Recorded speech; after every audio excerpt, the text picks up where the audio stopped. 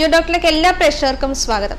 നമ്മൾ ജീവിതത്തിൽ പലതരത്തിലുള്ള വേദനകളിലൂടെ കടന്നു പോകാറുണ്ട്. നമ്മുടെ ജീവിതത്തിന്റെ പല ഘട്ടത്തിൽ.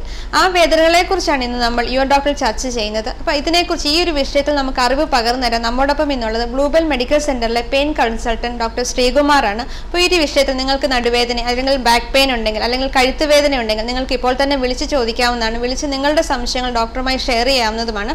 ഡോക്ടർ വെൽക്കം ടു ഡോക്ടർ നമ്മൾ പലതരത്തിലുള്ള വേദനകൾ നമ്മുടെ ജീവിതത്തിൽ പലപ്പോഴും പലതരത്തിലുള്ള വേദനകളിലൂടെ നമ്മൾ കടന്നു പോകാറുണ്ട്. അപ്പോൾ നമ്മൾ ശരിക്കും ഇപ്പോൾ ഡോക്ടറിന്റെ ഡെസിഗ്നേഷൻ തന്നെ പെയിൻ കൺസൾട്ടന്റ് ആണ്.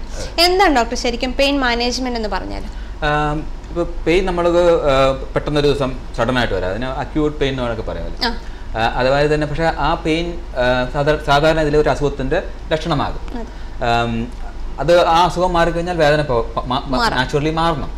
പക്ഷെ ചില കണ്ടീഷനുകളിൽ ആ വേദന അസുഖം മാറിയാലും വേദന സ്ഥിരമായി നിൽക്കും. അത് ഒരു ഒരു തരത്തിലുള്ള വേദനയായിട്ട് തുടങ്ങി വേറെ തരത്തിലുള്ള വേദനയായി മാറും. അപ്പോൾ ആ സമയത്താണ് ഈ പെയിൻ ആ വേദനയെ നമ്മൾ എങ്ങനെ ചികിത്സിക്കണം എന്നുള്ളതിനെ പറ്റി എന്നുള്ള ഒരു സ്പെഷ്യാലിറ്റിയാണ് പെയിൻ മാനേജ്മെന്റ് മെഡിസിൻ ഡോക്ടർ ഞാൻ ഒന്ന് ഇടപെടും. നമുക്കൊരു കോളർ എത്തിയിരിക്കുകയാണ്. Hello hello good good afternoon your ഡോക്ടറിലേക്ക് സ്വാഗതം. പേര് പറഞ്ഞു എന്റെ പേര് നീതു. നീതു. നീതു ഡോക്ടറിനോട് ചോദിച്ചോളൂ. ഗുഡ് ആഫ്റ്റർനൂൺ ഡോക്ടർ ഡോക്ടർ എനിക്ക് മൂന്നാൽ വർഷമായിട്ട് ബാക്ക് പെയിൻ ഉണ്ട്. അപ്പം അപ്പൊ ഡോക്ടർ കാണിച്ചപ്പോ പറഞ്ഞു ബൾജ് ഉണ്ട് ഡിസ്കിന് എൽ ഫോർ എൽ ഫൈവ് അപ്പൊ ഫിസിയോതെറപ്പി ഒക്കെ ചെയ്തപ്പോ മാറി പിന്നെ ഇടയ്ക്കിടയ്ക്ക് ഒരു ഒന്ന് രണ്ട് വർഷം കഴിയുമ്പോൾ പിന്നെയും ബാക്ക് പെയിൻ വന്നു. അപ്പൊ അത് ഫുൾ കാലിന് താഴെ വരെ സീറ്റ് വരെ ഇങ്ങനെ റേഡിയേറ്റ് ആ. അതെ. അപ്പം എന്ത് ചെയ്യാൻ പറ്റും ഡോക്ടർ അതിപ്പോ ഈ നിങ്ങളുടെ വേദന ഇപ്പൊ ഈ ഈ സിംറ്റം ആയിട്ട് തുടങ്ങിയിട്ട് കണ്ടിന്യൂസ് ആയിട്ട് വേദന ഉണ്ടോ നാല് കൊല്ലമായിട്ട് വേദന ഉണ്ടോ ഇല്ല ഞാൻ എടുത്ത് വന്ന സമയത്ത് ഞാൻ ട്രീറ്റ്മെന്റ് എടുത്ത് മാറി. പിന്നെ ഇങ്ങനെ ഇടയ്ക്ക് ഒരു ഒന്ന് രണ്ട് വർഷം കഴിഞ്ഞിട്ടാണ് ഈ വേദന വീണ്ടും വന്നത്. അപ്പൊ ഞാൻ കുറച്ച് എന്തെങ്കിലും ഓയിന്റ്മെന്റ് എന്തെങ്കിലും പെട്ടെന്ന് കുറച്ച് റിലാക്സേഷൻ ഉണ്ടാവും. പിന്നെ എന്തെങ്കിലും ഒരു നമ്മളിപ്പോ എന്തെങ്കിലും അറിയാതെ ഒരു വെയിറ്റ് എന്തെങ്കിലും എടുക്കുകയാണെങ്കിൽ അത് വീണ്ടും വന്നുകൊണ്ടിരിക്കുകയാണ്. അപ്പൊ ആ വേദന കാലിലേക്ക് പോകുന്നുണ്ടോ? കാലിലേക്ക് പോകുന്നുണ്ട്. അതെ റേഡിയേറ്റ് അപ്പം എല്ലാ പ്രാവശ്യം ഡോക്ടറെ കൊണ്ട് കാണിക്കുമ്പോൾ പറയുന്ന ഫിസിയോതെറപ്പി ഉള്ളൂ. ഇതിന് ഒരു എന്താ പറയാ ഒരു ഇതായിട്ട് അല്ലാണ്ട് വേറെ ഒന്നും ഇല്ലെന്നാ പറയുന്നത്. കാലിൽ ഈ വേദന താഴത്തേക്ക് പോകുമ്പോ തരിപ്പോ അങ്ങനെ വല്ലതും തോന്നുന്നുണ്ടോ? തരിപ്പ് കുറച്ച് സമയത്തേക്ക് തരിപ്പ് ഫീൽ ചെയ്യാറുണ്ട്. ആ അത് മിക്കവാറും ആ ഡിസ്ക് പുറത്തു വന്നിട്ട് നിങ്ങളുടെ സ്പൈനൽ കോഡിൽ നിന്ന് നെർവ് പുറത്തു വരുന്നില്ലേ? അതിന് ടച്ച് ചെയ്യണ്ട ആ നെർവിനെ ടച്ച് ചെയ്യണ്ട. അപ്പൊ ആ നെർവ് റൂട്ടിന്റെ ഇറിറ്റേഷൻ കൊണ്ടാണ് ഈ ആ ഡിസ്ക് ഡിസ്ക് ഇറിറ്റേറ്റ് ചെയ്തിട്ട് വരുന്നതാണ്. ഒരു അക്യൂട്ട് പോലെ വന്നു കഴിഞ്ഞാൽ അല്ലെങ്കിൽ ഈ ആദ്യ ആദ്യ സ്റ്റേജിൽ ഈ ഡിസ്ക് പ്രൊലാപ്സ് ചെയ്ത് പുറത്തേക്ക് വന്നു കഴിഞ്ഞാൽ അതിനകത്ത് ചില കെമിക്കൽ റിലീസ് ചെയ്യും. അപ്പൊ അത് ആ നെർവ് റൂട്ടിനെ ഈ ഞരമ്പിനെ ഇറിറ്റേറ്റ് ചെയ്തിട്ട് പെയിൻ ഇങ്ങനെ ക്രോണിക് പെയിൻ ആയിട്ട് വരും. അത് ഇങ്ങനെ ബേണിംഗ് പെയിൻ അല്ലെങ്കിൽ ഷൂട്ടിംഗ് പെയിൻ ആയിട്ടൊക്കെ വരും- ഒരു സ്റ്റേജ് കഴിഞ്ഞാൽ അത് ചിലപ്പോൾ കാൽസിഫൈ ചെയ്യും. സാധാരണ മിക്കവാറും എല്ലാ ഡിസ്കുകളും അത് തന്നെ തിരിച്ച് റിപ്പയർ ആവും. പക്ഷെ ചില കേസിൽ അത് റിപ്പയർ ആവാണ്ട് കാൽസി കാൽസിഫൈ ആവും തിക്കാവും. കൂടുതൽ കൂടുതൽ കട്ടി വെക്കുവാനും അപ്പൊ ആ സമയമായി കഴിഞ്ഞാൽ ഒന്നില്ലെങ്കിൽ അതിന് നമ്മൾ ആ പർട്ടിക്കുലർ നെർവ് റൂട്ടിന് നോക്കിയിട്ട് വളരെ ആക്യുറേറ്റ് ആയിട്ട് ഒരു ഇഞ്ചക്ഷൻ ചെയ്യുക. അതായത് അതിന് നെർവ് റൂട്ട് ഇഞ്ചക്ഷൻ എന്ന് പറയുക അല്ലെങ്കിൽ എപ്പിഡ്യൂറൽ ഇഞ്ചക്ഷൻ അതിലൊരു സ്റ്റിറോയിഡ് മെഡിക്കേഷൻ ഉണ്ടാവും. അപ്പോൾ ആ സ്റ്റിറോയിഡ് ഈ നെർവ് റൂട്ടിന്റെ ചുറ്റുള്ള ഇറിറ്റേഷനെ കുറച്ചിട്ട് വേദന മാറ്റും. ഈ- മിക്കവാറും എല്ലാ മെജോറിറ്റി കേസിലും ഈ ആ ഡിസ്കൗണ്ടുള്ള ഇറിറ്റേഷൻ ഗ്രാജുവലി റിക്കവർ ചെയ്യും. റിക്കവറി സാധ്യതയുണ്ട്. സാധ്യതയുണ്ട്. പക്ഷെ ഒരു രണ്ട് കൊല്ലം മൂന്ന് കൊല്ലം കഴിയത് ചിലപ്പോൾ സർജറിയോ അല്ലെങ്കിൽ ആ ഡിസ്ക് എടുത്ത് മാറ്റിയോ അല്ലെങ്കിൽ ഇഞ്ചക്ഷൻ തെറാപ്പി വേണ്ടി വരും. എപ്പിഡിയോളോ സ്റ്റീറോയിഡ് ഇഞ്ചക്ഷനോ അതായിരിക്കും ഫസ്റ്റ് ലൈൻ അത് കഴിഞ്ഞിട്ട് അത് മാറിയിട്ടില്ലെങ്കിൽ നമുക്ക് വേണമെങ്കിൽ ആ ഡിസ്കിനെ എടുത്ത് മാറ്റാം. മെഡിക്കേഷൻ ഉണ്ട്. മെഡിക്കേഷൻ ഈ പ്രീഗാബലിൻ ഗാബപ്പെന്റിൻ എന്നുള്ള മെഡിക്കേഷനുകൾ ഉപയോഗിക്കാം. അല്ലെങ്കിൽ ചിലപ്പോൾ നമ്മൾ ഈ ആന്റി ഡിപ്രസൻസ് തന്നെ അത് പെയിന് വേണ്ടിയിട്ട് ഉപയോഗിക്കും. ഡിപ്രഷൻ ആയിട്ട് ഉപയോഗിക്കും ആന്റി ഡിപ്രസന്റ് ആയിട്ടുള്ള ഉപയോഗിക്കുന്നത് പെയിന് വേണ്ടിയിട്ട് ആന്റി ഡിപ്രസൻസ് ഉപയോഗിക്കാറുണ്ട്. അപ്പോൾ അതിനോ ആ അതൊക്കെ കഴിച്ചാൽ ഈ പെയിൻ മാറാവുന്നതേ ഉള്ളൂ. പിന്നെ അത് പെയിൻ മാറിക്കഴിഞ്ഞാൽ എക്സസൈസ് നമ്മുടെ ബാക്ക് മസിൽസിൽ ബാക്കിൽ മസിൽസ് ഉണ്ട് എയർപോർട്ട് കോർ മസിൽസ് അതിനെ സ്ട്രെങ്തൻ ചെയ്യാൻ വേണ്ടി എക്സസൈസ് ഫിസിയോതെറാപ്പി ഒക്കെ ചെയ്താൽ ലോങ് ടൈമിൽ വേദന മാറി നിൽക്കും. Okay okay thank you doctor thank You're thank you Neethu thank you very much doctor നമ്മൾ സംസാരിച്ചിരുന്ന പെയിൻ മാനേജ്മെന്റിനെ കുറിച്ചാണ്. അതെ, അതെ. അതൊന്നുകൂടെ ഒന്ന് വിശദീകരിക്കാം. അപ്പോൾ ഈ ക്രോണിക് പെയിൻ ആയി കഴിഞ്ഞാൽ നമ്മൾ അതിനെ ക്രോണിക് പെയിൻ വന്നു കഴിഞ്ഞാൽ നമ്മുടെ രോഗിയുടെ ആക്ടിവിറ്റി ലെവൽ കുറയും. അവൾ വീട്ടിൽ നിന്ന് പുറത്തിറങ്ങാണ്ടാവും. ജോലി നഷ്ടപ്പെടുന്നുള്ള ആങ്സൈറ്റി സ്ട്രെസ് മറ്റേ വിഷമങ്ങളൊക്കെ ഉണ്ടാവും. അപ്പോൾ അവരുടെ വേദന ഈ വേദന മാത്രമല്ല ഈ ബാക്കിയുള്ള ഈ സ്ട്രെസ്സും കൂടി വേദനനെ കൂട്ടി കൂടുതൽ കൂടുതൽ മോശമാക്കി മോശമാക്കിക്കൊണ്ടിരിക്കും അപ്പോൾ നമ്മൾ പെയിൻ മാനേജ്മെന്റ് ആദ്യം ആ രോഗിനെ കണ്ടിട്ട് കൺസൾട്ട് ചെയ്ത് വിശദമായിട്ട് അന്വേഷിച്ച് ചോദിച്ച് മനസ്സിലാക്കും എന്ത് തരം വേദനയാണ് എപ്പോൾ തുടങ്ങി എത്ര നാളായി ഈ വേദന ഏതെങ്കിലും ഭാഗത്തേക്ക് റേഡിയേറ്റ് ചെയ്യുന്നുണ്ടോ എന്ത് ടൈപ്പ് പെയിനാണ് ഷാർപ്പ് പെയിൻ ആണോ അല്ലെങ്കിൽ ഡൾ പെയിൻ ആണോ എന്നൊക്കെ ചോദിച്ചിട്ട് നമ്മൾ അവർക്ക് ഒരു ട്രീറ്റ്മെന്റ് തീരുമാനിക്കും. ചിലപ്പോൾ ഇൻവെസ്റ്റിഗേഷൻ. ഒരിക്കൽ കൂടി നമുക്ക് നമുക്കൊരു caller എത്തിയിരിക്കാണ് hello good afternoon good afternoon your ഡോക്ടറിലേക്ക് സ്വാഗതം. അതെ പേര് പറഞ്ഞോളൂ. ശ്രീകൽ ഡോക്ടറോട് ചോദിച്ചോളൂ. Hello hello hello hello Sujaya doctor എന്റെ പ്രോബ്ലം എന്താ വെച്ചാൽ എനിക്ക് ബാക്ക് പെയിൻ ഉണ്ട്. ബാക്ക് പെയിൻ എന്ന് പറഞ്ഞാൽ അത് എനിക്കിപ്പം മലർന്ന് കിടക്കാനാവില്ല. മലർന്നൊക്കെ കിടക്കുവാണെങ്കിൽ പിന്നെ എനിക്ക് എണീറ്റ് കഴിഞ്ഞാൽ അതിന് ഭയങ്കര സ്ലിപ്പായ പോലെ ഇരിക്കും. ബാക്കിൽ കുനിയാനോ വളയാനോ ഒന്നും പറ്റില്ല. കൊറേ നേരത്തേക്ക് ഇങ്ങനെ ഒരു ബാക്കിലൊരു ഊന്നൊക്കെ വെക്കുമ്പോ ഉണ്ടാവില്ല. അതുപോലെ നടക്കും സ്റ്റിഫ്നെസ് ഒരു സ്റ്റിഫ്നെസ് ആയിട്ട് തോന്നുന്നല്ലോ ബാക്ക് ഒരു കാരണവശാലും പിന്നെ ബെൻഡ് ചെയ്യാൻ പറ്റില്ല കൊറേ നേരത്തേക്ക്.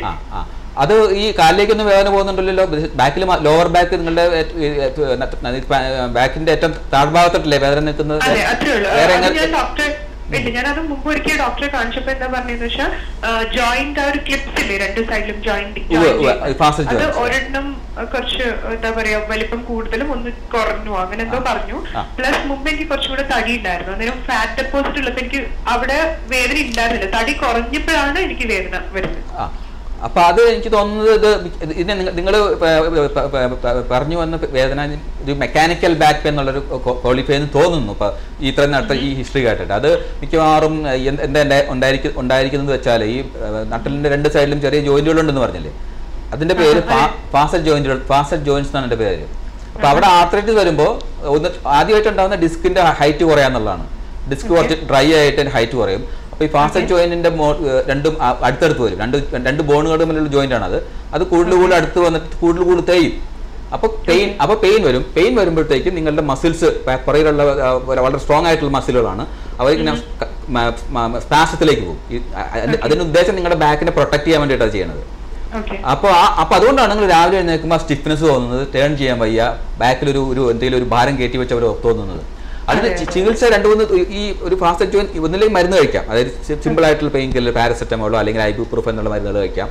അല്ലെങ്കിൽ അത് അത് അത് കഴിച്ചിട്ട് മാറുന്നില്ലെങ്കിൽ നമുക്ക് ആ ഫാസ്റ്റ് ജോയിനിലേക്ക് ഇപ്പൊ നേരത്തെ പറഞ്ഞ മാതിരി സ്റ്റിറോയിഡും ലോക്കൽ അനസ്തേഷ്യയും കൂടി കുത്തി വെച്ച് കഴിഞ്ഞാൽ ഇഞ്ചക്ട് ചെയ്ത് പക്ഷെ ഡോക്ടർ എനിക്ക് പെയിനേക്കാളും കൂടുതൽ എനിക്ക് ആക്ച്വലി ഒരു സഹിക്കാൻ പറ്റാത്ത പെയിൻ എന്താ ഒന്നും ചെയ്യാൻ പറ്റില്ല. അതാണ് അതാണ് അത് മസിൽ പിടിക്കുന്നതാണ്. അപ്പൊ നമ്മൾ അതിന് പ്രൈമറി കോസ് ഞാൻ പറഞ്ഞില്ലേ? പ്രൈമറി പ്രധാന കാരണം ആ ആർത്തറ്റിസ് ഉള്ള ജോയിന്റ് ആണ് ആ ജോയിന്റ് ആണ് പെയിൻഫുൾ ആക്ച്വലി അപ്പൊ ആ ജോയിന്റ് പെയിൻഫുൾ ആയത് കാരണം അവർ ഈ- അപ്പൊ അത് ട്രിഗർ ചെയ്യുന്നതാണ് ഈ മസിൽ സ്പാസം ഈ മസിൽ സ്പാസം കാരണമാണ് നിങ്ങൾക്ക് ആ ഒരു അൺകംഫർട്ടബിൾ ഫീലിംഗ് രാവിലെയൊക്കെ തോന്നുന്നത്. അപ്പൊ നമ്മൾ പെയിൻ പ്രൈമറി ട്രീറ്റ് ചെയ്യേണ്ടത് ആ ജോയിന്റിലുള്ള ആർത്തറ്റിസ് നമ്മൾ ആദ്യം ട്രീറ്റ് ചെയ്യേണ്ടത്. അത് ട്രീറ്റ് ചെയ്യുമ്പോഴത്തേക്കും മസിൽ സ്പാസം പോകും. ബിക്കോസ് ആ ജോയിന്റ് പെയിൻ ഫ്രീ ആയി കഴിഞ്ഞാൽ അത് ആ സ്പാസം ട്രിഗർ ചെയ്യില്ല. അപ്പൊ നമ്മൾ ഇതിന് കൺസൾട്ട് ചെയ്യേണ്ടത് ഏത് ഡോക്ടറെയാണ് അത് സ്പൈനൽ ഡോക്ടർ സർജന്മാർ ഈ ഇഞ്ചക്ഷൻ ചെയ്യാറുണ്ട്. അല്ലെങ്കിൽ ഞാൻ- ചെയ്യാറുണ്ട് ഈ ക്രോൺ ഫാസൽ ജോയിൻ ഇഞ്ചക്ഷൻസ് അല്ലെങ്കിൽ സ്പൈനൽ സർജ സർജന്മാർ ചെയ്യാന്നുള്ളൂ. അത് വളരെ സിമ്പിൾ ആയിട്ടൊരു പ്രൊസീജിയറാണ് അത് ലോക്കൽ അനസ്തേഷ്യ കൊണ്ട് ചെയ്യാന്നുള്ളൂ. ഒരു ഒരു മൂന്നോ നാലോ ഇഞ്ചക്ഷനുള്ള രണ്ട് സൈഡിലുള്ള ജോയിന്റുകൾ ഇഞ്ചക്ട് ചെയ്യേണ്ടി വരും. അതത്ര സിമ്പിൾ ആയിട്ടൊരു പ്രൊസീജിയറാണ് അതിനത് അനസ്തേസി വേണ്ട ഒരു അരമണിക്കൂറിന്റെ കാര്യമുള്ളത് ആ ഇഞ്ചക്ഷൻ അത് മാറിക്കോളും. ചില നിങ്ങൾ ഇപ്പൊ നിങ്ങൾ എന്താ പറ്റിയിരിക്കുന്ന പറ്റിയിരിക്കുന്നത് വെച്ചാൽ നിങ്ങൾക്ക് വേദന കാരണം നിങ്ങൾ അധികം മൂവും എക്സസൈസ് ഒന്നും ചെയ്യാൻ പറ്റില്ല. ഈ സ്റ്റിഫ്നെസ് കാരണം. വേദന മാറി ഇപ്പം ജിമ്മിൽ പോയിട്ടാണെങ്കിലും ആബ്സിന് എക്സസൈസ് ഒന്നും എനിക്ക് എടുക്കാൻ പറ്റില്ല. ആ അതന്നെ. അപ്പൊ ഈ വേദന മാറിക്കഴിഞ്ഞാൽ നിങ്ങൾക്ക് എക്സസൈസ് എക്സസൈസ് ചെയ്യാം. അപ്പൊ ബാക്കിലത്തെ കോർ മസിൽസ് എന്ന് പറഞ്ഞില്ലേ അതിനെയൊക്കെ സ്ട്രെങ്തൻ ചെയ്ത് കഴിഞ്ഞാൽ മാറി മാറും. പിന്നെ അത് കഴിഞ്ഞാൽ ഈ കണ്ടിന്യൂസ് പാസീവ് മൂവ്മെന്റ് എന്നുള്ള ഒരു ഇത് ഇതുണ്ട്. അതായത് താഴെ കിടന്നിട്ട് ഒരു തറയിൽ കിടക്കുക. എന്നിട്ട് കാൽ ആദ്യം വലുത് കാൽ മടക്കുക. മടക്കിയിട്ട് വയറിന്റെ മേളിലേക്ക് ക്ലോസ് ആയിട്ട് മടക്കുക. അങ്ങനെ ഒരു പത്ത് പ്രാവശ്യം ചെയ്യുക. അത് അത് ചെയ്ത് കഴിഞ്ഞിട്ട് മറ്റേ കാലം കൊണ്ട് അതുപോലെ തന്നെ ചെയ്യുക. പത്ത് പ്രാവശ്യം ഇങ്ങനെ തന്നെ തന്നെ പുള്ളി ചെയ്യാം മുകളിലേക്ക്. അതിന് ചേട്ടൻ രണ്ട് രണ്ടു കാലും ഒരുമിച്ച് ചെയ്യാം അപ്പൊ അവിടുത്തെ ആ മസിലിന്റെ സ്പാസ് ഒക്കെ ഒന്ന് കുറഞ്ഞു കിട്ടും പെയിൻ കുറഞ്ഞു കിട്ടും അതൊരു അത് ഫിസിയോതെറാപ്പിസ്റ്റിനെ കണ്ട് അവർ പറഞ്ഞു തരാം കറക്റ്റ് എക്സസൈസ് എന്താ ചെയ്യേണ്ടതെന്നുള്ളത്. Okay okay thank you Sreekala thank you very much thank you very much doctor നമ്മൾ പെയിൻ മാനേജ്മെന്റിനെ കുറിച്ചാണ് സംസാരിച്ചുകൊണ്ടിരുന്നത്. അപ്പം ഇനി ഒരു പേഷ്യന്റ് ഏതൊരു സ്റ്റേജിൽ വരുമ്പോഴാണ് ഒരു പെയിൻ മാനേജ്മെന്റ് സ്പെഷ്യലിസ്റ്റിനെ കൺസൾട്ട് ചെയ്യേണ്ടത്? അതിപ്പോ നമ്മളിപ്പോ ഞാൻ നേരത്തെ പറഞ്ഞില്ലേ ക്രോണിക് പെയിൻ ആവുക. ക്രോണിക് പെയിൻ ക്വാളിഫൈ ആണെങ്കിൽ മൂന്ന് മാസത്തിൽ കൂടുതലായിട്ട് വേദന വരും മൂന്നല്ല ആറ് മാസം മൂന്ന് തൊട്ട് ആറ് മാസം. ചില ഡെഫിനേഷൻ ആറ് മാസം വേദന ത്രീ ടു സിക്സ് മന്ത്സ് എന്ന് പറയും. തുടർച്ചയായിട്ട് തുടർച്ചയായിട്ട്. വേദന മാറാതിരിക്കുക. ആ വേദന നിങ്ങളുടെ ഡെയിലി ലൈഫിന് അതായത് നിങ്ങളുടെ ഒരു പുറത്ത് സിനിമയ്ക്ക് പോകാനുള്ള പറ്റുന്നില്ല അല്ലെങ്കിൽ വീട്ടിലെ ജോലികൾ എടുക്കാൻ പറ്റുന്നില്ല അല്ലെങ്കിൽ ഓഫീസിൽ പോയി കഴിഞ്ഞ് ഇരിക്കാൻ പറ്റുന്നില്ല അത് നിങ്ങളൊരു കോൺസ്റ്റന്റ് നിങ്ങൾ ഒരു ഒരു പ്രധാന വറിയായി മാറും. ഒരു പ്രധാന നിങ്ങളുടെ ജീവിതത്തിനെ കൺട്രോൾ ചെയ്യുന്ന ഒരു ഒരു പ്രതിഭാസം തന്നെയായി മാറും ഈ ക്രോണിക് പെയിൻ ആ അപ്പം അങ്ങനെ വരുമ്പോൾ മൂന്ന് മാസത്തിലേറെയായിട്ട് വേദന മാറുന്നില്ലെങ്കിൽ it's a time to consult a specialist specialist doctor ഇപ്പോൾ നമ്മൾ സംസാരിച്ച് കൊടുത്ത് പറഞ്ഞു അക്യൂട്ട് പെയിനും ക്രോണിക് പെയിനെ കുറിച്ച് ഡോക്ടർ പറഞ്ഞു.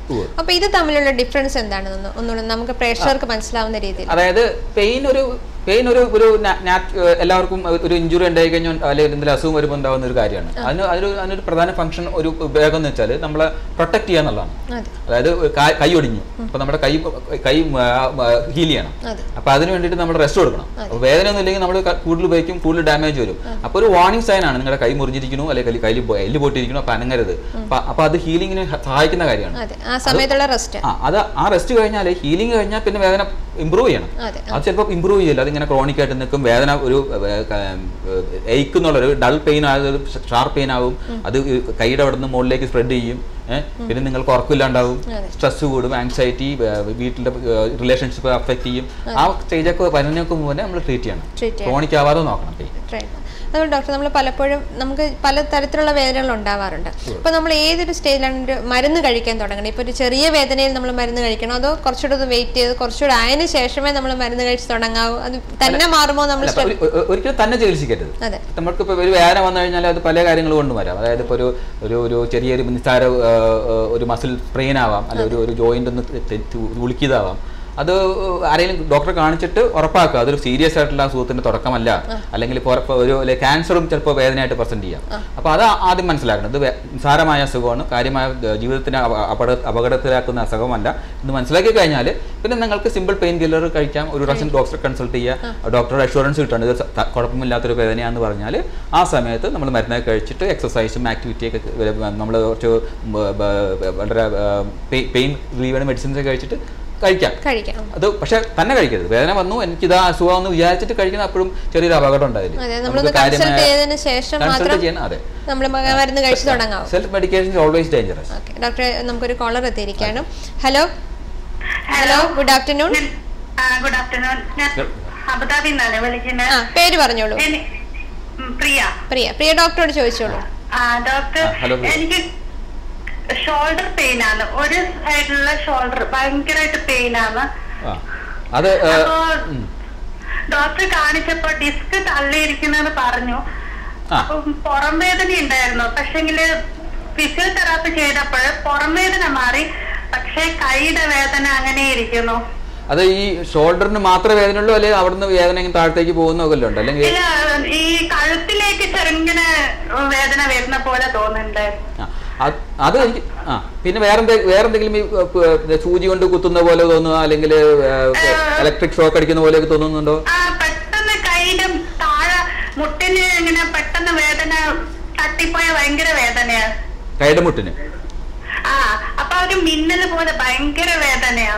ആ അപ്പ്- അല്ല കൈ കയ്യിൽ മുട്ട് എവിടെയെങ്കിലും തട്ടിക്കഴിഞ്ഞാൽ അപ്പൊ ആ- മുട്ടിയ ഭാഗത്താണോ വേദന അല്ലെങ്കിൽ ഷോൾഡറിൽ വേദന അത് ഈ ഷോൾഡറിലുള്ള വേദന രണ്ടു വിധത്തിൽ വരാം. ഒന്ന് ഷോൾഡർ ജോയിന്റിന്റെ വേദന തന്നെയാവാം. പക്ഷെ നിങ്ങൾ നേരത്തെ പറഞ്ഞില്ല ഒരു ഡിസ്ക് തെറ്റിപ്പോയതാന്നുള്ളത് അപ്പൊ അതെ, ഈ കഴുത്തിന്റെ ഡിസ്ക് തെറ്റിയാൽ ഞാൻ നേരത്തെ പറഞ്ഞ പോലെ ചെറിയ ചെറിയ ചെറിയ ചെറിയ ചെറിയ ജോയിന്റുകളുണ്ട്. ഈ നമ്മുടെ നട്ടലിന്റെ ചെറിയ ബോണുകൾ തമ്മിൽ കണക്ട് ചെയ്യുന്ന കുറച്ച് ജോയിന്റുകളുണ്ട്. അവരുടെ അതിന്റെ പേരാണ് ഫാസറ്റ് ജോയിന്റ്സ് അപ്പൊ അതിൽ പെയിൻ വന്നു കഴിഞ്ഞാൽ നിങ്ങൾക്ക് ഈ റെഫേർഡ് പെയിൻ വരും. അതായത് ഇപ്പൊ കഴുത്തിലാണ് നിങ്ങളുള്ള അസുഖമെങ്കിലും അല്ലെങ്കിൽ ആ ഡാമേജ് അല്ലെങ്കിൽ ആ ഡിസ്ക് തെറ്റി നിൽക്കുന്ന നിൽക്കുന്നത് കഴുത്തിലാണെങ്കിലും ഈ ഷോൾഡറിൽ വേദനയായിട്ട് തോന്നും നിങ്ങൾക്ക്. ആ. അപ്പൊ അത് ഈ ആ നേരത്തെ പറഞ്ഞ പോലെ നമുക്ക് വന്നില്ലെങ്കിൽ ഇങ്ങനെ പല- വിധത്തിലും ചികിത്സിക്കാം. അതായത് എനിക്ക് ഡോക്ടർ ഞാൻ ഈ ഇൻഫെർട്ടിലിറ്റി ട്രീറ്റ്മെന്റ് ചെയ്തിട്ടുണ്ടായിരുന്നു. അപ്പൊ ഈ സ്റ്റീറോയിഡ് ഒക്കെ എടുത്തിട്ടുണ്ടായിരുന്നു. ആ സമയത്ത് ഒട്ടും വേദന ഉണ്ടായിരുന്നില്ല. സ്റ്റീറോയിഡ് ജനറൽ ഉള്ളിൽ കഴിച്ചാലും ഈ ആ ഡിസ്ക് ഡിസ്ക് ചിലപ്പോൾ ഇൻഫ്ലമേഷൻ ഉണ്ടല്ലോ. ഇപ്പൊ ഞാൻ ജോയിന്റിന്റെ ചുറ്റും ഒരു ഇൻഫ്ലമേഷൻ എന്നല്ലോ ആർത്രൈറ്റിസ് ആണത്. അപ്പൊ നമ്മൾ സ്റ്റീറോയിഡ് ഉള്ളിൽ കഴിക്കുമ്പോൾ ആർത്രൈറ്റിസ് കുറയും ആന്റി ഇൻഫ്ലമേറ്ററി ആണല്ലോ സ്റ്റീറോയിഡ് അപ്പൊ ആർത്രൈറ്റിസ് കുറയും. അതുകൊണ്ടാണ് നിങ്ങൾക്ക് വേദന സ്റ്റീറോയിഡ് വെച്ചപ്പോൾ മാറിയത്. ഈ ഉള്ളി ഉള്ളിൽ കഴിക്കുമ്പോൾ സൈഡ് എഫക്ട് കൂടുതലായിരിക്കും. സ്റ്റീറോയിഡ് ഉള്ളിൽ കഴിച്ചു തുടങ്ങിയാൽ ഒരു രണ്ട് മൂന്ന് ആഴ്ച കൂടുതൽ കഴിച്ചാൽ നമുക്ക് ഒരുപാട് അതിന്റെ സൈഡ് എഫക്റ്റുകൾ കണ്ടു തുടങ്ങും. അതേസമയം നമ്മൾ ആ. വളരെ ടാർഗറ്റ് ചെയ്തിട്ട് ആ ജോയിൻ ഡാമേജ് ആയ ജോയിന്റിനെ മാത്രം ടാർഗറ്റ് ചെയ്തിട്ട് നമ്മളൊരു ഇഞ്ചക്ഷൻ ചെയ്യാൻ അല്ലെങ്കിൽ ഇന്റർവെൻ പെയിൻ ഇന്റർവെൻഷൻ അല്ലെങ്കിൽ ഫാസ്റ്റ് ജോയിൻ ഇഞ്ചക്ഷൻ എന്നാ പറയാം. അപ്പൊ അത് ചെയ്യുകയാണെങ്കിൽ അത് ഒരു മൂന്നോ നാലോ മാസത്തേക്ക് വേദന മാറി നിൽക്കും. അപ്പൊ ആ സമയത്ത് നിങ്ങൾ മൊബിലിറ്റി നെക്ക് നെക്കിന്റെ നെക്കിന് മൊബിലൈസ് ചെയ്യുക ഈ കഴുത്തിലുള്ള മസിൽസിനെ ഒന്ന് സ്ട്രെങ്തൻ ചെയ്യുക അങ്ങനെയൊക്കെ ചെയ്ത് കഴിഞ്ഞാൽ ലോങ് ടൈമിൽ സൊല്യൂഷൻ ഉണ്ടാവും. പിന്നെ എത്ര നാളെ തുടങ്ങിയിട്ട് വേദന ഇത് കുറെ വർഷമായി എട്ട് വർഷത്തോളായി ഫിസിയോതെറാപ്പി ആയുർവേദം അങ്ങനെ പലതും നോക്കി പക്ഷെ ശരിയായില്ല ഇത് മിക്കവാറും സെർവൈക്കൽ സെർവൈക്കോജനിക് പെയിൻ ആയിരിക്കണം സെർവൈക്കൽ ഫാസൽ ജോയിന്റിന്റെ പെയിൻ റെഫേർഡ് പെയിൻ ആയിട്ടാണ് ഷോൾഡറിന്റെ പെയിൻ വരുന്നത് പിന്നെ നിങ്ങൾ ഇത്രയും കൊല്ലമല്ലേ വേദന വേദന വന്നപ്പോഴേ നിങ്ങൾക്ക് ഈ പെയിനുള്ള ചില കുറച്ച് ഈ അത് ക്രോണിക് ക്രോണിക് ക്രോണിക് പെയിൻ ആയിട്ട് മാറുമ്പോൾ വേദന അല്ലാത്ത സിഗ്നലുകളും ബ്രെയിൻ വേദനയായിട്ട് കണക്കാക്കും അത് ഫോർ എക്സാമ്പിൾ ഇപ്പൊ മുട്ടുമ്പോ തട്ടുമ്പോ ഷാർപ്പ് പെയിൻ വരുന്നു വരും. രാവിലെ എഴുന്നേൽക്കുമ്പോഴാണ് ഭയങ്കര വേദന. കൈ ഒരു വശം പൊന്തിയിരിക്കും അതോ. ആ അത് നിങ്ങൾ അത് ഒരു ഒരു പർട്ടിക്കുലർ പൊസിഷനിൽ കിടന്ന് ഉറങ്ങുകയല്ലേ? അപ്പൊ ആ അപ്പൊ ആ നിങ്ങളുടെ മസിൽസ് ഒക്കെ റിലാക്സ് ചെയ്യും. അപ്പൊ ആ ജോയിന്റിന്റെ പൊസിഷൻ കുറച്ച് തെറ്റി തെറ്റിയിട്ടുണ്ടാവും. അപ്പൊ അതുകൊണ്ടാണ് രാവിലെ എഴുന്നേക്കുമ്പോൾ സ്റ്റിഫ്നെസ് വരുന്നത്. ഈ മോർണിംഗ് സ്റ്റിഫ്നെസ് ഒരു ഈ ഓസ്റ്റിയോ ആർത്രൈറ്റിസ് സാധാരണ പറയുന്ന ആർത്രൈറ്റിസ് സന്ധിവാദം അത് കഴുത്തിൽ വരുന്ന ആ ജോയിനിന് വരുന്നതാണത്. അതിന്റെ ലക്ഷണമാണ് ആ സ്റ്റിഫ്നെസ് രാവിലെ കിടന്നുറങ്ങിയിട്ട് എഴുന്നേൽക്കുമ്പോൾ ആ സ്റ്റിഫ്നെസ് അതിന്റെ അതിന്റെ ലക്ഷണമാണത്. അത് ഗ്രാജുവലി വൈകുന്നേരം ഉച്ചയൊക്കെ ആകുമ്പോഴത്തേക്കും അല്ലെങ്കിൽ കുറച്ച് ചൂടൊക്കെ. പിടിക്കുമ്പോഴത്തേക്കും റിലീവ് അത് ആർത്രൈറ്റിസിന്റെ ലക്ഷണമാണ് അത് ലക്ഷണമാണത്. കഴുത്തിലുള്ള ജോയിന്റിന്റെ ആർത്രൈറ്റിസിന്റെ ലക്ഷണമായിട്ട് കണക്ക് പറയാൻ പറ്റുക പക്ഷെ നമുക്ക് കുറച്ചുകൂടി എനിക്ക് ഇതൊരു കുറച്ചും കൂടി ഡീറ്റെയിൽസ് വേണ്ടി വരും. ഇപ്പൊ കറക്റ്റ് ആയിട്ട് ഡയഗ്നോസ് ചെയ്യണമെങ്കിൽ കുറച്ചും കൂടി ഡീറ്റെയിൽസ് ഒക്കെ വേണ്ടി വരും. സ്കാനിങ് വേണ്ടി വരുമോ ആ സ്കാനിങ് വേണ്ടി വരും ചിലപ്പോൾ ഒരു എം ആർ ഐ നെക്ക് എടുക്കേണ്ടി വരും. പിന്നെ ഷോൾഡറിലാണോ പറഞ്ഞു ഡി ലെവൽ സി ലെവലിലുള്ള ഞരമ്പിന്റെ ആ സിയും ഫോർ സി ഫോർ ഫൈവ് എന്നാണ് ഷോൾഡർ പെയിൻ ആയിട്ട് വരാം. ഈ പറഞ്ഞ ജോയിന്റ് റെഫേർഡ് പെയിൻ ആയിട്ട് വരാം. ആ ആ ഞാൻ തോന്നുന്നു കേട്ടിട്ട്. Okay okay. Thank you Priya. Okay okay. Doctor നമുക്കൊരു എസ് എം എസ് വന്നിരിക്കുകയാണ്. ഡോക്ടറെ നമുക്കൊരു സിന്ധു ആണ് എസ് എം എസ് അയച്ചിരിക്കുന്നത്. സിന്ധു പറയുന്നത് സിന്ധു സിക്സ് മന്ത്സ് പ്രഗ്നന്റ് ആണ്. പക്ഷേ സിന്ധുവിന് ബാക്ക് പെയിൻ സിവിയർ ആയിട്ടുണ്ട്. ഇങ്ങനെ കിടക്കുമ്പോൾ കിടക്കാനും ബുദ്ധിമുട്ട് വരുന്നു. അതുപോലെ നടക്കാനൊക്കെ ബുദ്ധിമുട്ട് വരുന്നുണ്ടെന്ന് പറഞ്ഞു. അപ്പോൾ ഇങ്ങനൊരു സ്റ്റേജിൽ മെഡിക്കേഷൻസ് എടുക്കേണ്ട ആവശ്യമുണ്ടോ? അതോ അത് പ്രഗ്നൻസി എപ്പോഴും നമ്മൾ മെഡിക്കേഷൻ കഴിക്കുന്നതിന് മുമ്പ് കുറച്ച് കെയർഫുൾ ആയിരിക്കുന്നതാണ് എന്ന് വെച്ചാൽ നമ്മൾ എന്ത് മെഡിസിൻ കഴിച്ചാലും അത് കുട്ടീനെ അഫക്റ്റ് ചെയ്യാം. അപ്പോൾ നമ്മളത് ജനറലി നമ്മൾ ആസ് എ പെയിൻ സ്പെഷ്യലിസ്റ്റ് ആണ് അത് ഡിസ്കറേജ് ചെയ്യുന്നത് ഇഞ്ചക്ഷൻസും മെഡിക്കേഷൻസ് ഒക്കെ നമ്മൾ അവോയ്ഡ് ചെയ്യും. പ്രഗ്നൻസി അവോയ്ഡ് ചെയ്യാൻ തോന്നും. എന്ന് വെച്ചാൽ പ്രഗ്നൻസിയുടെ ഒരു ഭാഗമാണ് അത്. നമ്മൾ പ്രഗ്നന്റ് ആകുമ്പോഴത്തേക്കും ഹോർമോണൽ എഫക്ട് കാരണം ജോയിൻസ് ഒക്കെ ലാക്സ് ആകും ലിഗമെന്റ്സ് ലാക്സ് ആകും. അപ്പോൾ അതിന്റെ ഒരു മാൽ അലൈൻമെന്റും മാൽ അഡ്ജസ്റ്റ്മെന്റ്സ് എന്ന് പറയും. ഒരു ഡോക്ടറെ ഞാനൊന്ന് ഇടപെടാം. നമുക്കൊരു caller hello good afternoon good afternoon your ഡോക്ടറിലേക്ക് സ്വാഗതം. പേര് പറഞ്ഞോളൂ. ഞാൻ അനൂപാണ്. ആ അനൂപ് ഡോക്ടറോട് ചോദിച്ചോളൂ. Doctor Sreekumar. Hello hello Anoop. Hello doctor Sreekumar. കൈമുട്ടിനും കാൽമുട്ടിനും ഭയങ്കര വേദന. അത് ഏഴ് മാസമായി തുടങ്ങിയിട്ട്. ആ അതിപ്പോ എത്ര- നാളായി തുടങ്ങിയിട്ട് ആ, ഏഴ് മാസമാണ് ആറേഴ് മാസമായി തുടങ്ങി. അത് എല്ലാ കാലിന്റെ ഒരു ഒരു മുട്ടിൽ മാത്രമാണോ അല്ലെങ്കിൽ കൈമുട്ട് രണ്ട് സൈഡിലും ഉണ്ടോ അല്ലെങ്കിൽ ഒരു സൈഡിൽ മാത്രമേ ഉള്ളൂ? വലത്തെ കൈമുട്ടിനും ഇടത്തെ കാൽമുട്ടിനുമാണ് വേദനയുള്ളത്. ഉള്ളത് അത് നിങ്ങൾക്ക് എത്ര കൈമുട്ടിന്റെ വേദന എന്തെങ്കിലും സാധനങ്ങൾ എടുത്ത് പൊക്കുമ്പോഴൊക്കെ വേദനയുണ്ട്. പിന്നെ തുണി പിഴിയുമ്പോ അതെ അതെ. ഒരു ഗ്ലാസ് വെള്ളം പോലും എടുക്കാൻ പിടിക്കാം ആ അതെനിക്ക് തോന്നുന്നത് നിങ്ങൾക്ക് മിക്കവാറും അത് രാവിലെ എഴുന്നേക്കും സ്റ്റിഫ് ഒരു സ്റ്റിഫ്നെസ് തോന്നുന്നുണ്ടോ കയ്യിലും കൈമുട്ടിനും കാൽമുട്ടും കൈ- കാൽമുട്ടിനും? സ്റ്റിഫ്നെസ് ആയിട്ടൊന്നും തോന്നുന്നില്ല. നിങ്ങൾ ഡോക്ടർ ആരെങ്കിലും കാണിച്ചിരുന്ന? ആരെങ്കിലും ഒരു ഫിസിഷ്യനെ കൺസൾട്ട് ചെയ്തിരുന്നോ? ഇവിടെ പിന്നെ ഒരു ഒരു ഓർത്തോപിക് സർജനെ കാണിച്ചിരുന്നു. പുള്ളി അവിടെ ഇഞ്ചക്ഷൻ ചെയ്യണം എന്നൊക്കെ പറഞ്ഞു അപ്പൊ ഞാൻ പേടിച്ച് മിണ്ടാണ്ടിരിക്കുകയാണ്. ആ അത് നിങ്ങൾ അത് എനിക്ക് തോന്നുന്നത് അത് ഒന്നിൽ എനിക്ക് തോന്നുന്നത് കേട്ടിടത്തോളം അതൊരു ഓസ്റ്റിയോ ആർത്രൈറ്റിസ് നേരത്തെ പറഞ്ഞ പോലെ സന്ധിവാദം ആവാനാ സാധ്യത. അത് നിങ്ങളുടെ ജോലിയായിട്ടൊക്കെ ചിലപ്പോൾ റിലേറ്റഡ് ആയിരിക്കും. നിങ്ങൾ എന്ത് എന്ത് തരം ജോലി ചെയ്യുന്നതിനനുസരിച്ചിരിക്കും ആ- കാലിലും മുട്ടിലുമായിട്ട് വേദന വരാൻ കാരണം. കമ്പ്യൂട്ടർ പ്രൊഫഷണലാണ് ആ അപ്പൊ ഒരുപാട് നേരം കമ്പ്യൂട്ടർ നേരത്തെ ഇരുന്നിട്ട് സ്പെൻഡ് ചെയ്യുന്നുണ്ടോ കമ്പ്യൂട്ടറിന് മുമ്പിൽ വരാറുണ്ട്. നിങ്ങൾ നിങ്ങൾ എന്നെ സംബന്ധിച്ച് ഞാൻ ഒരു ഒരു ഉപദേശം തരാന്നുണ്ടെങ്കിൽ നിങ്ങൾ എങ്ങനെ കമ്പ്യൂട്ടറിന് മുമ്പിൽ ഇരിക്കുന്നു? നിങ്ങളുടെ ജോലി പാറ്റേൺ ഇപ്പൊ ഒരു ഏഴ് എട്ട് മാസമായിട്ട് മാറിയിട്ടുണ്ടോ? ഇരിക്കേണ്ടത് കമ്പ്യൂട്ടറിന്റെ മുന്നിൽ? അത് കമ്പ്യൂട്ടറിന് മുമ്പിൽ നമ്മുടെ കഴുത്തിനും കൈമുട്ടിനും സ്ട്രെയിൻ പാടില്ല ഷോൾഡറിൽ സ്ട്രെയിൻ പാടില്ല. അപ്പോൾ അതിന്റെ ഹൈറ്റ് അഡ്ജസ്റ്റ് ചെയ്യണം. പിന്നെ നമ്മുടെ കണ്ണിന്റെ ലെവലിലാക്കണം മോണിറ്റർ പിന്നെ ഒരുപാട് നേരം ഒരു- ഒന്നോ രണ്ടോ മണിക്കൂർ ഇരുന്ന് കഴിഞ്ഞാൽ ഒന്ന് എഴുന്നേറ്റ് മാറി നടക്കുകയോ ഒന്ന് ഇരിക്കുകയോ ഒക്കെ ചെയ്യുക അങ്ങനെയൊക്കെ ചെയ്താൽ ഈ ഈ- പോസ്റ്ററൽ അഡ്ജസ്റ്റ്മെന്റ്സ് ആയിരിക്കും പ്രശ്നങ്ങൾ. നിങ്ങളുടെ ഹൈറ്റും വെയിറ്റ് ഒക്കെ അനുസരിച്ചിരിക്കും. നിങ്ങൾ ഓവർ വെയിറ്റ് ആണോ അല്ലെങ്കിൽ നിങ്ങളുടെ ഹൈറ്റ് എത്രയുണ്ട് അല്ലെങ്കിൽ അങ്ങനെ. അപ്പോൾ വേണ്ട മാതിരി നിങ്ങൾക്ക് സൂട്ടബിൾ ആയിട്ടുള്ള ഒരു കമ്പ്യൂട്ടർ ടേബിൾ ചിലപ്പോൾ ഉപയോഗിക്കേണ്ടി വരും. അതൊരു ഒക്കപ്പേഷണൽ തെറാപ്പിസ്റ്റിന്റെ ഒരു അഡ്വൈസ് വേണ്ടി വരും ചിലപ്പോൾ അങ്ങനെ. ഒരു അസസ്മെന്റിന് വേണ്ടിയിട്ട്. മുട്ടുവേദനയെ പറ്റി കാൽമുട്ട് വേദന പറഞ്ഞില്ല ഡോക്ടർ? ആ കാൽമുട്ടിൽ വേദന നിങ്ങൾക്ക് അതാ നിങ്ങൾ നിങ്ങൾ എന്താ പറയുക അനൂപ് അല്ലേ? അനൂപ്, അല്ലേ? ആ കാൽമുട്ടിന് വേദന ഇപ്പൊ ഈ എൽബോയിൽ വന്ന ആർത്രൈറ്റിസ് ഇല്ലേ? അതിന്റെ ഭാഗമാവാം. അത് ഒരു എക്സ്റേ കഴിഞ്ഞ് സ്റ്റീറോയിഡ് ഇഞ്ചക്ഷൻ ചെയ്താൽ ചിലപ്പോൾ കുറച്ച് നാളത്തേക്ക് റിലീഫ് കിട്ടും. ഞാനൊരു എല്ലിന്റെ ഡോക്ടറെ കണ്ടപ്പോ അങ്ങേര് പറഞ്ഞത് ടെന്നീസ് കളിക്കാറുണ്ടോ ഓ ടെന്നീസ് കളിക്കാറുണ്ടോ? ടെന്നീസ് കളിക്കാറൊന്നുമില്ല. ചിലപ്പോ- ടെന്നീസ് കളിക്കുമ്പോ വരുന്ന അസുഖമാണെന്നൊക്കെ പറഞ്ഞ് എന്നെ പേടിപ്പെടുത്തിയാലോ. അത് ചിലപ്പോൾ നിങ്ങൾ എൽബോ എന്നുള്ളത് ടെന്നീസ് എൽബോ ആവാം. അത് ടെന്നീസ് കളിക്കുന്നുണ്ട് വേണമെന്നില്ല. അതൊരു അതിന്റെ ആ ഇത് അതിന്റെ മസിലിന്റെ മസിലും ജോയിനും കൂടി കണക്ട് ചെയ്യുന്ന ഭാഗത്തുള്ള ചെറിയൊരു ഇൻഫ്ലമേഷൻ ആണത്. അത് സാധാരണ ഇതിൽ രണ്ട് കൊല്ലം കൊണ്ട് തന്നെ മാറേണ്ടതാണ്. ഒന്നും എന്നും ചെയ്തിലും തന്നെ മാറും. പക്ഷേ ഈ സ്റ്റിറോയിഡ് ഇഞ്ചക്ഷൻ ചെയ്താൽ കുറച്ച് നാളത്തേക്ക് പെട്ടെന്ന് റിലീഫ് കിട്ടും. അപ്പോൾ കുറച്ച് എക്സർസൈസ് ചെയ്യാനൊക്കെ പറ്റും. പിന്നെ മുട്ടിന്റെ വേദന എനിക്ക് സ്റ്റെപ്സ് കയറി ഇറങ്ങാനൊന്നും വയ്യ ഡോക്ടർ ആ അതിപ്പോ നമ്മൾക്ക് അത് ഇരിക്കാൻ വയ്യ? അത് കാരണം എന്റെ ഡെയിലി ആക്ടിവിറ്റീസിനൊക്കെ വളരെ ബുദ്ധിമുട്ട് തോന്നുന്നു. ആ, അതിപ്പോൾ ആക്ച്വലി ഞങ്ങൾ ആ സ്പെഷ്യലിസ്റ്റ് കണ്ടപ്പോ അങ്ങനെ പറഞ്ഞൊരു ഇഞ്ചക്ഷൻ സജസ്റ്റ് ചെയ്തില്ലേ? എടുക്കുക എടുത്ത് എടുത്താൽ കുറേ റിലീഫ് കിട്ടാൻ കാലിന് പറഞ്ഞില്ല? പറ്റിയൊന്നും പറഞ്ഞില്ല. ആ അതിപ്പോ അത് ഈ ഓസ്റ്റിയോ ആർത്രൈറ്റിസ് ജനറലൈസ്ഡ് വരാം. ചിലപ്പോ റുമറ്റോയിഡ് ആർത്രൈറ്റിസ് പോലെയും വരാം. അപ്പൊ എന്താന്ന് കറക്റ്റ് ആയിട്ട് അറിയണമെങ്കിൽ ബ്ലഡ് ടെസ്റ്റ് ചെയ്യണം എക്സ്റേ എടുത്ത് നോക്കണം ഫർദർ ഇൻവെസ്റ്റിഗേഷൻ ഒക്കെ ചെയ്യേണ്ടി വരും. പക്ഷെ എട്ട് മാസം കോഴിക്കോട് ഒരു ഡോക്ടറെ കാണിച്ചപ്പോ പറഞ്ഞു മുട്ട് മാറ്റി പിടിപ്പിക്കേണ്ടി പറഞ്ഞു. നിങ്ങൾക്ക് എത്ര വയസ്സായി പറഞ്ഞേ? എനിക്കൊരു അമ്പത്തിനാല് വയസ്സായി. അൻപത്തിനാലോ? അൻപത്തിനാലോ. അൻപത്തിനാലൊക്കെ എനിക്ക് നിങ്ങൾ പ്രായം കൊണ്ട് നോക്കുമ്പോൾ മുട്ട് മാറ്റി വെക്കുന്ന ഓസ്റ്റിയോ ആർത്രൈറ്റിസ് വേണ്ട ചികിത്സയാണത്. പക്ഷെ അത് കുറച്ച് നേരത്തെ നിങ്ങളുടെ ചെറുപ്പം കമ്പാരിറ്റീവ്ലി ചെറുപ്പമല്ലേ ഇപ്പൊ ഇത്ര നേരത്തെ മുട്ട് മാറ്റി വെച്ചാൽ ഒരു പത്ത് പതിനഞ്ച് കൊല്ലം കഴിഞ്ഞാൽ വേറെ പിന്നെ പിന്നെ പുതിയൊരു മുട്ടും കൂടി വെക്കേണ്ടി വരും. അമ്പത്തിനാല്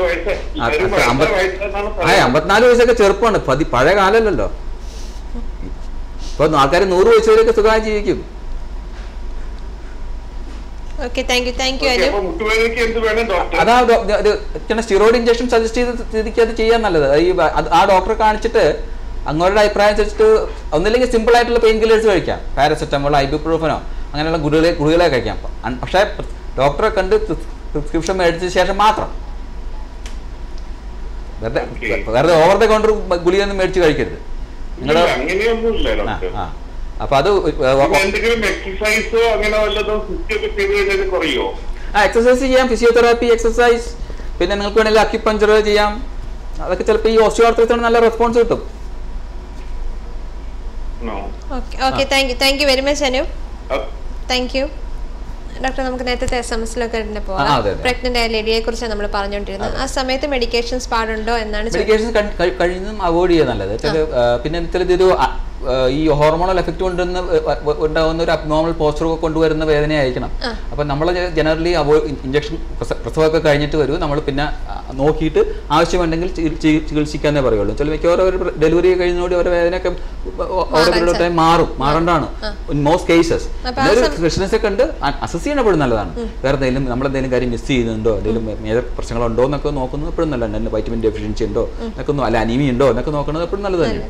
നോർമലി ഈ ഹോർമോൺ ചേഞ്ചസ് കൊണ്ടാണോ ഇങ്ങനെ ഉണ്ടാവുന്ന അതെ ഈ പ്രഗ്നൻസി വരുമ്പോഴത്തേക്കും പ്രൊജസ്ട്രോണും ഇസ്ട്രോജൻ ലെവലൊക്കെ കൂടുമല്ലോ. അതുകൊണ്ട് ഈ നേച്ചർ ഈസ് നമ്മുടെ പ്രകൃതി നമ്മളെ ഒരു നാച്ചുറൽ ചൈൽഡ് ബർത്തിന് വേണ്ടിയിട്ട് പ്രിപ്പയർ പ്രിപ്പയർ പ്രിപ്പയർഡ് ആക്കുകയാണ്. അപ്പോൾ അതിന് വേണ്ടിയുള്ള ചേഞ്ചുകളാണത് Very അപ്പോൾ അതുകൊണ്ട് ഇറ്റ്സ് വെരി കോമൺ ഈ പ്രഗ്നന്റ് ആയി കഴിഞ്ഞാൽ ബോഡി പെയിൻസ് അല്ലെങ്കിൽ ബാക്ക് പെയിൻ ഒക്കെ വരിക എന്നുള്ളത് വളരെ വളരെ കോമൺ ആയിട്ട് കാര്യം ഡോക്ടർ നമുക്കൊരു കോളർ എത്തിയിരിക്കുകയാണ്. Hello good afternoon good afternoon പേരെന്താണ്? പേര് നിത്യ. നിത്യ. യുവർ ഡോക്ടറോട് യുവർ ഡോക്ടറിലേക്ക് സ്വാഗതം. ഡോക്ടറോട് ചോദിച്ചോളൂ. താങ്ക് യു ഇതെന്റെ കസിന് വേണ്ടിയിട്ട് ചോദിക്കുന്നതാണ്. മയോപ്പതി എന്ന് പറഞ്ഞ രോഗം എന്താ ആ മയോപ്പതി ആ അത് പെയിൻ വന്ന അല്ലല്ല അത് മയോപ്പതി ഇച്ചിരി മസിൽ എന്തെങ്കിലും ഡാമേജ് ഉണ്ടാവണം. മയോപ്പതി എന്ന് പറയുമ്പോൾ എപ്പോഴാണ് പറയാം. എന്താ എന്താ അത് ആ മയോപ്പതി ലെവലൊന്നും വളരെ കൂടുതലാണ്. ആ, അത് ആ അത് മയോപ്പതി കുറച്ച് അത് ആരെ കാണിച്ചിരിക്കുന്ന കാര്യം കാണിച്ചിട്ടുണ്ട്. സ്പെഷ്യലിസ്റ്റിനെ കാണിച്ചിട്ടില്ലേ? ആ കാണിച്ചിട്ടുണ്ട്. അപ്പൊ അത് മാറുന്നതാണോ? അല്ലെങ്കിൽ life long myopathy depend generally speaking അത് ഒരു ഒരു ജനറ്റിക് പ്രശ്നങ്ങൾ കൊണ്ടൊക്കെ വരണമാണെങ്കിൽ വരണാണെങ്കിൽ അത് മയോപ്പതി ആണെങ്കിൽ നിങ്ങൾ പറയുന്ന ഡിസ്ക്രിപ്ഷൻ ആണെങ്കിൽ. പക്ഷേ അത് ഇപ്പോൾ ഫൈബ്രോ മയാൾജി മസിൽ പെയിൻസ് വരാം. ഫൈബ്രോ മയാൾജി എന്നൊക്കെ പറയാം. അതൊന്നും സീരിയസ് ആയിട്ടുള്ള അസുഖങ്ങളല്ല. പക്ഷേ മയോപ്പതി എന്ന് പറയുമ്പോൾ മയോപ്പതി എന്ന് പറയുകയാണെങ്കിൽ വെരി ട്രീറ്റ്മെന്റ് കുറച്ച് ഇതാണ്. ഒരു ക്രോണിക് ഇതായിട്ട് മാറുക എന്നുള്ളത് ബുദ്ധിമുട്ടാണ്. ആ. മയോപ്പതി ആണെങ്കിൽ ഇപ്പൊ പല ടൈപ്പ് മയോപ്പതി ഉണ്ടല്ലോ. അപ്പൊ ഇങ്ങനെ ഒരു അത് അതെന്താന്ന് മനസ്സിലാക്കാതെ ഒരു ഡെഫിനറ്റ് പ്രോഗ്നോസിസിന് ഫ്യൂച്ചറിൽ പറയാൻ ബുദ്ധിമുട്ട്. മൂവ്മെന്റ് മൂവ്മെന്റ്സ് വളരെ ബുദ്ധിമുട്ടാണ്. ആ, അപ്പൊ അത് ഒരു പ്രോഗ്രസീവ് മതി മയോപ്പതി ആയിട്ടാണ് തോന്നുന്നത്. അങ്ങനെ അഡ്വാൻസ് ചെയ്തുകൊണ്ടിരിക്കണത് എത്ര വയസ്സിന്റെ നിങ്ങളുടെ കസിന് അത് വളരെ ആ വളരെ ഏർലിയാണ് ഇവിടെ ഇവിടെ- ഇവിടെ ഉണ്ട്. ദുബായിലല്ല അബുദാബിയിലാണോ? നാട്ടിലാണ്. നാട്ടിലാണ്. മയോപ്പതി ആണെങ്കിൽ I think she should be seen by neurologist neurology neurology ആ ന്യൂറോളജിസ്റ്റിനെ കാണിക്കണം. അപ്പൊ എവിടെ ഏത് എവിടെയായിരിക്കും അത് നല്ലത്? നിങ്ങൾ നാട്ടിലെവിടെയാ നാട്ടിൽ ഞങ്ങൾ കണ്ണൂരാണ്. കണ്ണൂർ. കണ്ണൂര് കണ്ണൂരുള്ള കോഴിക്കോട്. കോഴിക്കോട് ന്യൂറോളജിനെ കാണിക്കാം അവിടെ. നല്ല. ന്യൂറോളജിസ്റ്റാ. ന്യൂറോളജിനെ കാണിക്കുന്നത് മയോപ്പതിക്ക് കേട്ടോ. അത് നേരത്തെ കാണിച്ച നേരത്തെ കാണിച്ച് നേരത്തെ ട്രീറ്റ്മെന്റ് ഒക്കെ എന്താ കറക്റ്റ് ഡയഗ്നോസ് ഉണ്ടെങ്കിൽ എന്ത് ടൈപ്പ് മയോപ്പതി ആണെന്ന് നോക്കിയിട്ടേ. മാറിയിട്ടില്ല. പ്രോഗ്രസും ചെയ്യേണ്ടത്. അഡ്വാൻസ് കുറേശ്ശെ കുറേശ്ശെ കൂടി വരുന്നുണ്ട് അല്ലേ? അതൊരു ഇൻഫ്ലമേറ്ററി പ്രോസസ്സ് ഓൺ ഗോയിങ് ആണുള്ള ഒരു ശരീരത്തിന്റെ ഒരു ഇൻഫ്ലമേറ്ററി പ്രോസസ്സ് നടക്കുന്നതുള്ള ഇൻഡിക്കേഷൻ ആണ് ഈ സി എസ് ആർ കൂടി നിൽക്കുന്നത്. ചിലപ്പോൾ അതിന് സ്പെഷ്യൽ ആയിട്ടുള്ള മെഡിക്കേഷൻ കഴിക്കേണ്ടി വരും. അത് ആ ഡോക്ടർ ഒരു ന്യൂറോളജിനെ എത്രയും പെട്ടെന്ന് കാണുക നല്ലത് കേട്ടോ. അപ്പൊ ഇത് കല്യാണം കഴിക്കാനോ അല്ലെങ്കിൽ കുട്ടികളാവാനോ എന്ത് ടൈപ്പ് ന്യൂറോ ഈ മയോപ്പതി അത്? ഫാമിലിയിൽ വേറെ ആരെങ്കിലും ഉണ്ടോ? ഇല്ല ഇല്ല ആർക്കും ഇല്ല. ആം, അത് ശരിക്കും അത് കറക്റ്റ് എന്ത് ടൈപ്പാന്ന് അറിയാണ്ട് നമുക്കത് എനിക്കൊരു അഭിപ്രായം പറയാൻ അതെ, അതെ. ബുദ്ധിമുട്ടാണ്. അത് അതെ, ശരി. അതൊരു ആ. അതൊരു ജന ഒരു എന്തെങ്കിലും ഒരു ഒരു ജനറ്റിക്സിലായിട്ട് നമ്മുടെ ജീനുകളായിട്ട് റിലേറ്റഡ് ആയിട്ടുള്ള പ്രോബ്ലം ആവാം. Genes gene genetics genetically related ചില ഫാമിലിയിൽ ചില ഫാമിലീസിൽ ഉണ്ടാവും അത്. ചിലപ്പോൾ ഒരു ഒന്ന് രണ്ട് ജനറേഷൻ മിസ് ചെയ്തെന്ന് വരാം. അപ്പൊ എന്താണോ ചിലപ്പോൾ ചിലപ്പോൾ ഈ മയോപ്പതി മെറ്റബോളിക് എന്തെങ്കിലും അബ്നോർമൽ മെറ്റബോളിസം കൊണ്ട് വരാം. അല്ലെങ്കിൽ വൈറൽ ഇൻഫെക്ഷൻ കൊണ്ട് വരാം. പല കാരണങ്ങൾ കൊണ്ട് വരാം. അപ്പൊ മയോപ്പതി ആണെങ്കിൽ പല കാരണങ്ങൾ കൊണ്ട് വരാം മയോപ്പതി അപ്പൊ അത് എന്താ കാരണം കണ്ടുപിടിച്ചിട്ട് ട്രീറ്റബിൾ ആണ് നമുക്ക് ട്രീറ്റ് ചെയ്യാന്നുള്ളത്. മനസ്സിലായി. ഇപ്പൊ ട്രീറ്റബിൾ അല്ലാത്ത ജനറ്റിക് റിലേറ്റഡ് മയോപ്പതിന്റെ ഡിഫിക്കൽട്ടാണ് ട്രീറ്റ് ചെയ്യാൻ. പക്ഷേ ഒരു- ഇൻഫെക്ഷനോ അല്ലെങ്കിൽ അങ്ങനെ എന്തെങ്കിലും ആണെങ്കിൽ നമുക്ക് we can always think about a treatment അല്ലെ find a treatment for that അതാണ്. അപ്പോൾ കഴിയുന്നതും പെട്ടെന്ന് ഒരു പ്രോപ്പർ ഡയഗ്നോസ് കണ്ടെത്തി എന്താണെന്ന് മനസ്സിലാക്കിയിട്ട് നമുക്ക് എയർലി ട്രീറ്റ്മെന്റാണ് വേണ്ടത്. ചിലപ്പോൾ നമുക്ക് ചിലപ്പോൾ റീഹാബിലിറ്റേഷൻ മറ്റേ ജോബ് അഡ്ജസ്റ്റ്മെന്റ്സ് ഒക്കെ ചെയ്ത് ചിലപ്പോൾ അത് നമുക്ക് ചിന്തയിലേക്ക് ചെയ്യാൻ പറ്റും.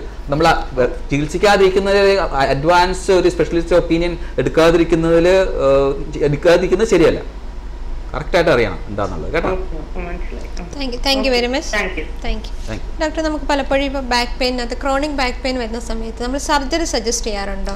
ആ ഇപ്പൊ നമ്മൾ ക്രോണിക് പെയിൻ ആസെറ്റ് ചില സർജറികളുണ്ട് ഉണ്ട് സ്പാനൽ ഫ്യൂഷൻ എന്നൊക്കെ പറഞ്ഞ് ചെയ്യാം. പക്ഷെ അത് കൊണ്ട് പെയിൻ കംപ്ലീറ്റ് മാറിക്കണം ചിലപ്പോൾ ആ സർജറി തന്നെ കുഡ് ബി എ പ്രോബ്ലം അപ്പോൾ നമ്മൾ കഴിയുന്ന chronic back pain surgery surgery റിസൾട്ട്സും അത്ര വലിയ ഗുണമല്ല. ബാക്ക് പെയിൻ മാത്രമാണെങ്കിൽ surgical results are not very good അപ്പോൾ അതിനു വേണ്ടിയിട്ട് നമുക്ക് വേറെ ഈ ഇഞ്ചക്ഷൻ ട്രീറ്റ്മെന്റ് ചെയ്യാം. പിന്നെ വേണമെങ്കിൽ ഈ കുറച്ച് അഡ്വാൻസ്ഡ് ട്രീറ്റ്മെന്റ് വെച്ചാൽ നമ്മൾ അതിന്റെ ഉള്ളിലേക്ക് സ്പാനൽ കോഡ് സിമുലേറ്റർ എന്ന് പറഞ്ഞ ട്രീറ്റ്മെന്റ് ഉണ്ട്. അതായത് ഈ സ്പാനൽ കോഡിന്റെ ഉള്ളിലേക്ക് ഒരു ചെറിയൊരു വയർ ഇട്ടിട്ട് ഒരു ഇലക്ട്രിക് കറണ്ട് വെച്ച് ട്രീറ്റ് ചെയ്യാം. അങ്ങനെയും ചെയ്യാം. ക്രോണിക് ബാക്ക് പെയിന് പിന്നെ പിന്നെ പേഷ്യന്റിന്റെ കമ്മിറ്റ്മെന്റ് അനുസരിച്ചിരിക്കും ചില ആൾക്കാർ ബാക്ക് പെയിൻ സഹിക്കാൻ പാടില്ല എന്ന് പറഞ്ഞിട്ട് ചിലപ്പോൾ നമ്മൾ സ്പൈനൽ ഫ്യൂഷൻ ചെയ്യാറുണ്ട്. ഏജ് ഗ്രൂപ്പിലാണ് നമ്മൾ അങ്ങനെ ചെയ്യുന്നത്? കുറ- കുറച്ചൊരു എല്ലർലി കുറച്ച് പ്രായമൊക്കെ ആയി കഴിഞ്ഞാൽ ആ ഗ്രൂപ്പ് ചെയ്യാം. പിന്നെ ചിലപ്പോൾ ചില യങ്ങർ ഏജ് ഗ്രൂപ്പ് മുപ്പത്തഞ്ച് വയസ്സ് അല്ലെങ്കിൽ നാല്പത് വയസ്സുള്ള ആൾക്കാർ ചിലപ്പോൾ പെയിൻ മാറുന്നില്ല. അവർക്ക് വർക്ക് ചെയ്യാൻ വയ്യ. അങ്ങനെയൊക്കെ ലാസ്റ്റ് ചിലപ്പോൾ ലാസ്റ്റ് റിസോർട്ട് എന്ന് ചിലപ്പോൾ ഓഫർ ചെയ്യാറുണ്ട്. Patient left to the patient choice അപ്പോൾ അത് ഒരു മേജർ സർജറി അല്ലേ. അപ്പോൾ ഒരു മേജർ സർജറി ബാക്കിൽ ചെയ്യണോ വേണ്ടോ എന്നുള്ളത് പേഷ്യന്റ് ഡിസൈഡ് ചെയ്യണം. പെയിൻ മാറുന്നില്ല എന്ന് പറയുകയാണെങ്കിൽ. ഡോക്ടർ നമുക്കൊരു ചെറിയ ഇടവേള എടുത്താലോ?